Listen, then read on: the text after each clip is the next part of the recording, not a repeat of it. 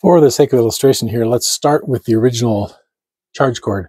Now the reason I need to return, replace this charge cord is it's it's damaged on this end, so we have a piece of tape around there to hold it together. But it does still work. If I plug it into a 2 amp charge block, you notice that it says battery charging 61%, everything's cool. Now this new cord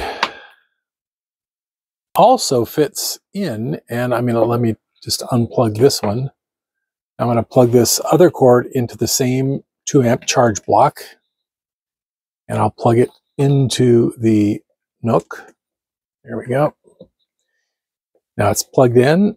You'll notice that the Nook green light comes on saying, hey, fully charged. But in fact, it is not currently charging. It says it's currently running on battery. If I disconnect from the block, but from the block and plug it back in, I don't see that little that little charging thing that I expect to see up there.